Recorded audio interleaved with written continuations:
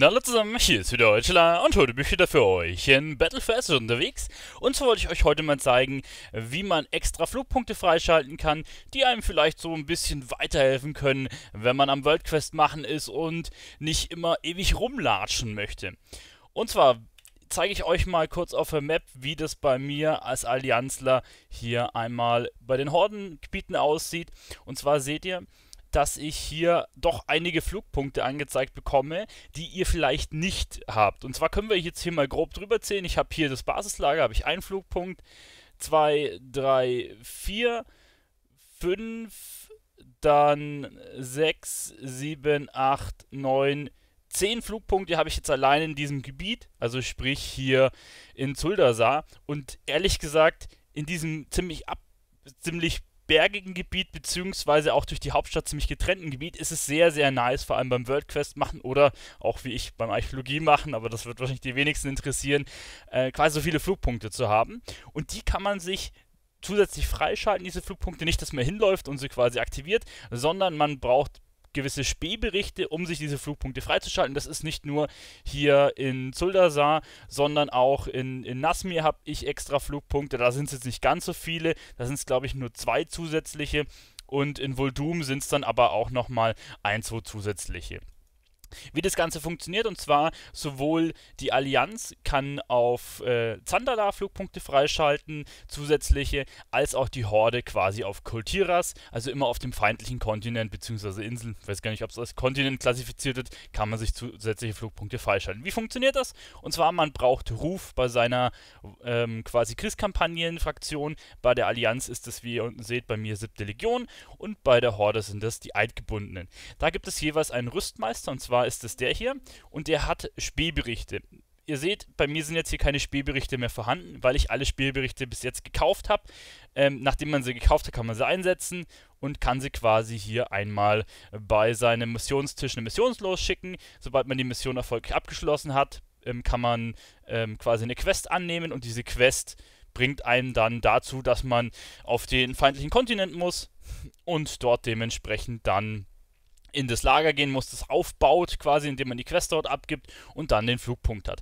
Ich kann euch das jetzt auch mal grob zeigen und zwar ähm, habe ich auf der Horde hier schon meinen anderen Char vorbereitet, der das eben noch nicht getan hat.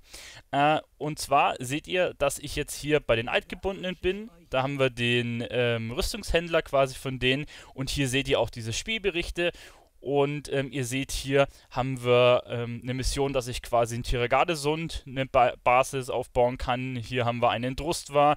Zwei gibt es immer schon ab ähm, dem Ruf Wohlwollen. Und dann seht ihr hier gibt es nochmal ab Ruf Respektvoll noch weitere. Die Wohlwollen-Dinger kosten 50 und die respektvoll kosten ähm, 100. Ich glaube, auf der Allianz war die Verteilung etwa genauso. Also ich glaube, man hatte auch zwei und hier fünf. Ich bin mir aber nicht mehr sicher. Es waren auf jeden Fall einige Missionen, die man machen konnte.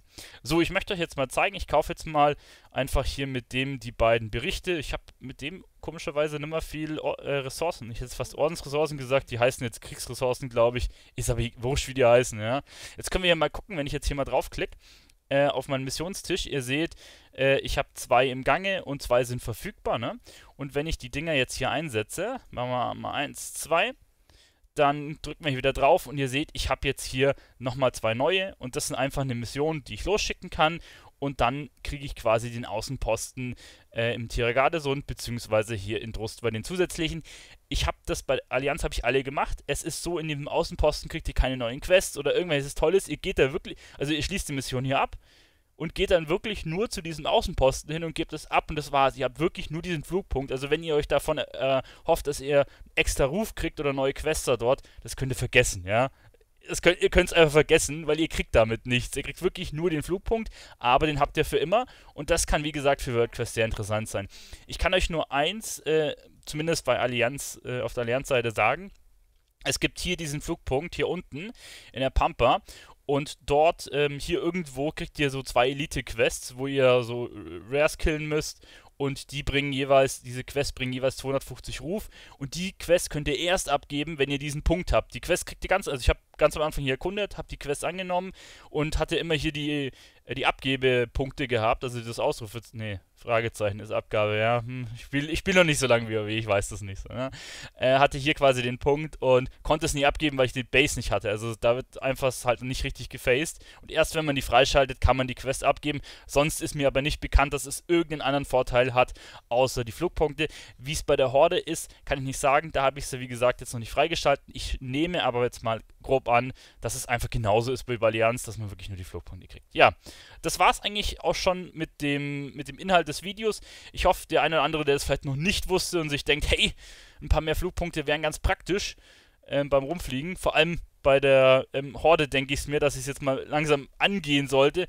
Denn vor allem, wenn ich hier drüben im, halt, jetzt haben wir zu weit gedrückt, im Tiergardesund bin und äh, ich glaube, ich habe hier, hier einen und hier und ich hätte gern irgendwo hier nochmal einen Flugpunkt, weil man teilweise von da nach da schon langläuft oder einmal über Boralos rauf muss und es nervig ist oder irgendwo hier unten hätte ich ganz gerne einen, dann wäre das ganz cool eigentlich, ja. Aber mal gucken. Oder hier in, in Drust war, da hat man hier und hier einen Flugpunkt, aber wenn du nach hier hinten willst, dann läufst du erstmal eine Weile oder hier. Ja, also hier irgendwo ein Flugpunkt wäre noch ganz cool. Vielleicht gibt es da sogar einen, ne? Muss, man, muss ich mal gucken, bis ich meine Mission durchgemacht habe. Gut, jetzt ist das Video schon wieder viel zu lang geworden. Hoffe, die Information ist angekommen.